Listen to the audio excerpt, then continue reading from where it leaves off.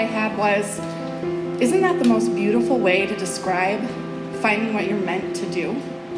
A calling. And I love that because it's so intended and it's a message that you are supposed to receive. Sometimes a calling is like a trumpet, and sometimes a calling can be a whisper. But no matter what, your calling, especially in the life of a teacher, is a moment that you remember forever. And I remember mine as clear as day. You've all heard stories about teachers who played school when they were little. I really was that little girl. And so I would have all of my stuffed animals all lined up, and I had a whiteboard and magnetic letter tiles. And then I got the best present ever, which was a baby brother. And I thought, yes, I have a student. And I would watch my teachers at school and really see what they were doing. And I would race home and I would grab Aaron and I would teach. And I'm very proud to tell you that by the time Aaron was four, he could read. And it was the foot book. You know that one by Dr. Seuss? And I remember that night when he turned the pages and he pointed at every single word and he read them. And I thought, oh my gosh, he is so smart. I am awesome. and I knew I wanted to do this forever. I have to stop my speech though there and let you know as an educator, I had read him the foot book like every single night. So the chances of him reading that, he probably wasn't. He probably memorized it. But to me, I thought it was wonderful.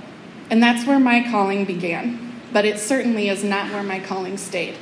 Because over time, my calling has been refined into something that is much more forceful and more compelling a need to teach. At the heart of everything that we do is our students. So I thought I'd introduce you to some of mine. This picture, my class is doing a tableau, which is a, you know, um, like a living sculpture of a chapter from Sarah Plain and Tall. And we talk a lot about the different levels you should have and what your character is thinking, being really expressive with your eyes because you don't get to say a word, which is great for our EL students who can now cooperate and collaborate and have a way to express too. I was talking to the two that are up on top, kind of battening down the hatches. And while I was talking to them, the little girl on the right, who's a wall, I hear her say it to the little boy across from her, who's the other wall Do you think we should smile? And the little boy said, Why? And then she said, I don't know, because we're a happy home. And it's that kind of thought. This picture is really important too. This is the part of the book where Sarah and the kids are out in the barn going down a sand dune, which is a haystack. And in this case, it's my podium. And the little boy who's sitting on top of the podium, who's so expressive, did not talk to me for the first two months of school. He didn't talk to anyone.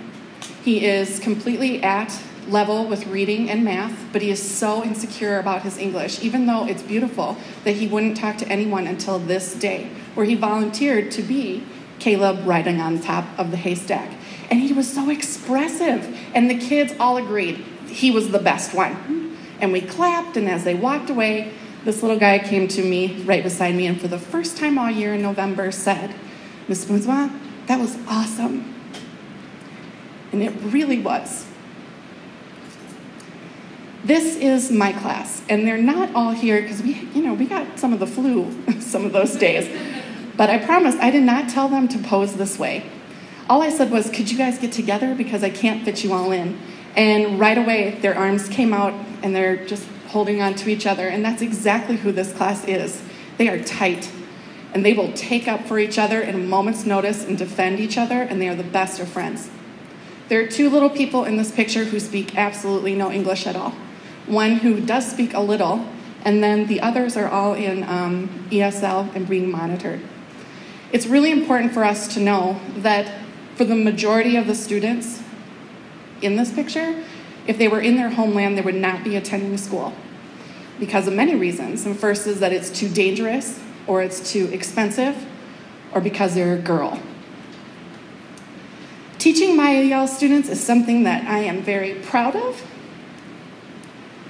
and something that's very close to my heart because I know what a good teacher can do for an EL student.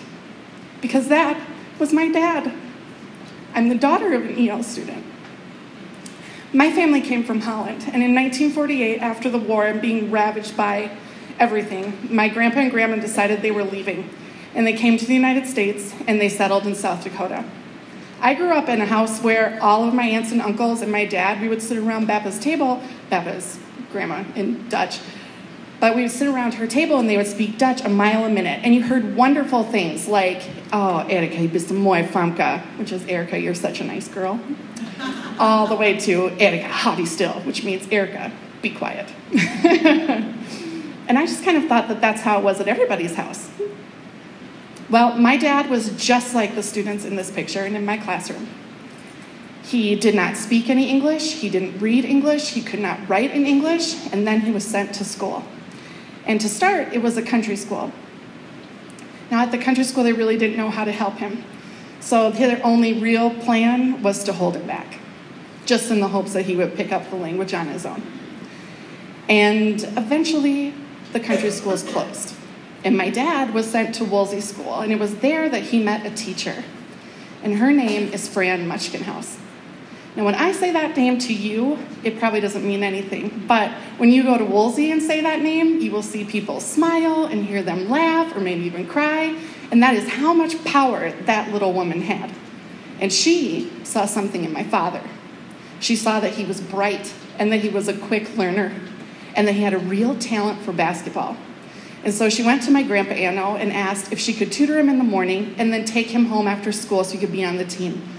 And of course, my grandparents said no. But she did not give up. She went back again and again until she finally wore down my grandpa Anno. And he said yes. And that is the moment where everything changed for my dad. He caught up to the rest of his classmates and he learned English and he set the scoring record for the most points in a basketball game in Wolsey. I was supposed to tell you that. I said, make sure you let them know. I will. He was up for Mr. All American, but most importantly, my dad is the first one out of all of us to ever go to college on a full ride basketball scholarship. And when he got there, do you know what he signed up to be? A teacher. And I asked him, why did you do that? And he said, Erica, I don't know if I would be who I am if it weren't for mine. And he is right. You see, the difference was a teacher. My grandparents were wonderful people, but let's be honest, they were just trying to survive. It took a teacher to see that other side of life, that side of life beyond survival, a side of life that's full of potential and opportunity. And it took a teacher to open her heart and her arms as wide as she could and help as much as she could because she believed in his potential. And I know that we're responsible for teaching content and standards, but we are called to do so much more. And that's to be our students' dreamers and to be their visionaries and to paint a picture of life for our students that they don't even know they should dream for themselves. And In some cases, don't even know they deserve. And it doesn't end with them, it moves into their family and changes their family as well. And I'm reminded of that all the time. We just had conferences last week, and I was sitting across from um, a man He's really a big guy, and I felt sorry for him because my fourth grade chairs are little. He's about six six, and he's from Somalia, and I was talking to him about his son. His son, he would love. His son is an exuberant learner. He came to class below level, EL student, but every moment is a moment to learn for him, and he's excited by every mistake because he'll say, We do a lot of social emotional learning in the room. My dendrites are growing. I know I didn't get it right, but I will. And he always has a feeling. It's always a feeling with him. So it'll be math class, and he'll come up with a story prompt, be like, Miss Boonswell, I feel like I should multiply. And I would be like, You're right, you should. And be like, Yes, high five. He's great. And for the first time ever, he has made grade level in reading. And I'm telling his father about all the hard work his son does. What a wonderful student he is. And this man, who is so tall and such a big guy, with eyes brimming with tears of joy, and in very broken English said these words Thank you, teacher. It's like my son's eyes were asleep, but now he's awake. And I had a conference the next night with a family from Guatemala. Their child is also just the best. He's a little different from the other one. He's not so expressive with feelings. He likes to use every single word that you've taught him all the time. So if he has a question, he'll come up and say, Miss Bonesma, I'm sorry for the confusion. He really does talk like this. I'm sorry for the confusion, but according to my calculations, this sum should be correct. and I'm telling his family about, wow, this child, I wish you could meet them because you would adore them instantly. How smart he is. And for the first time ever, has surpassed grade level in reading and in math and will exit ESL.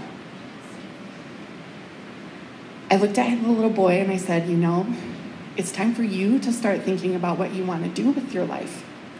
You can be a doctor, you could be an engineer, you could be a teacher. I said, You can do anything. And it was at that moment that his father said to me, You know, I didn't finish fourth grade, I had to go to work. And then he put his rough hand on his son's shoulder and looked at him with so much pride and said, But look at my son. He can have everything. And what I saw there was a father who had spent his whole childhood surviving, but had paved a way for his own son to follow his dreams. And when you have a moment like that, your calling is changed forever. And you are reminded about why you teach and what an education truly means and you're re energized to go out and to do as much as you possibly can because for some of the families of these students in this picture, they have moved hell and high water to get here, and you are determined not to let them down. And I feel sorry for people who have lost touch with that and who just chase fleeting test scores or worry only about where they rank because they've lost the meaning of what a true education is. But you haven't. You know that we're called for a higher purpose than that. And we're called to bring light into lives and to make this world a better place. We're called to be dynamic and we're called to be strong, but we're also called to be kind and to take care of one another. And at a time where there is so much negativity and so much hate, that is a message that everyone needs to hear. And who better to lead the way than us, the teachers from the heart of the nation, and teachers who come from a state whose name means friend. A calling is powerful. An entire world will be changed because good men and women follow what they're meant to do. And not for money, and not for themselves, but for the good of others. So cherish your calling, that spirit of clarity and hope, and hold on to it. Think of it often and follow it every single day because it's the greatest gift that you have been given. It's your guide, and it's your direction toward who you're meant to be. Thank you so much for all your time and all the efforts that you pour into your students. You are the reason that your students are growing, and you are the reason that they are finding success. You are the reason that their futures are bright. It's all because of you, and you make all the difference you.